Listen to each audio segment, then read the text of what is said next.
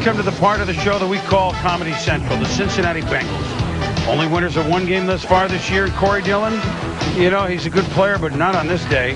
Fumble, Al Wallace recovers, touchdown, gift, 7-7. Carolina has tied the Bengals.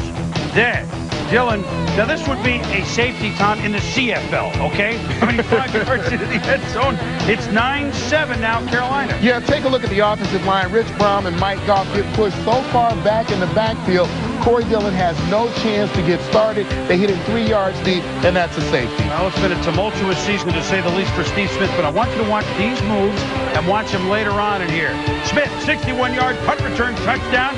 Smith suspended a game, battered a teammate in uh, team headquarters, was welcomed back lukewarmly by his teammates, but on this day, Smith returning and catching that bomb from Rodney Peete. and then Smith again. Watch these moves. One, two, cuts here between the defenders, and he's gone.